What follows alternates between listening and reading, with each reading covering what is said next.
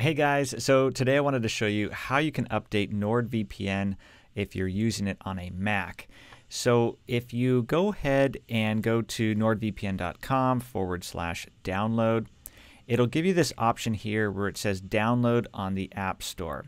So I'm going to click on that so you can see what will happen. Now over here you can see um, I already have NordVPN um, uh, brought up.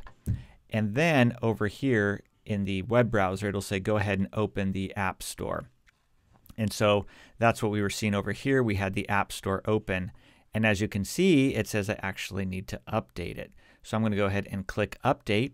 And so this will now update me to the latest version of Nord. Uh, one of the things Nord has added is uh, the ability to do split tunneling, uh, which is really cool. So um, again, I'll put a link down in the description to any of the best deals or discounts on NordVPN right now if you don't have it already. So feel free to take advantage of that if you like. Um, now it's saying uh, to continue, I need to quit NordVPN and complete the update.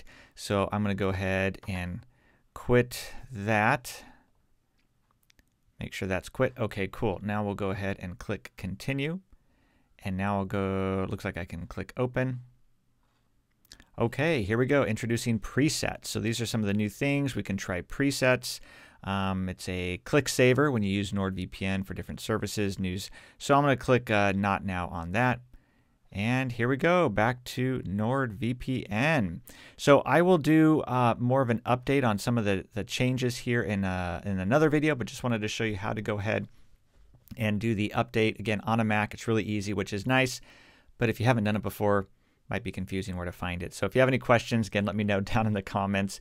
And uh, again, as always, I'll put a link to uh, NordVPN if you do want to get it. You don't have it already down in the description.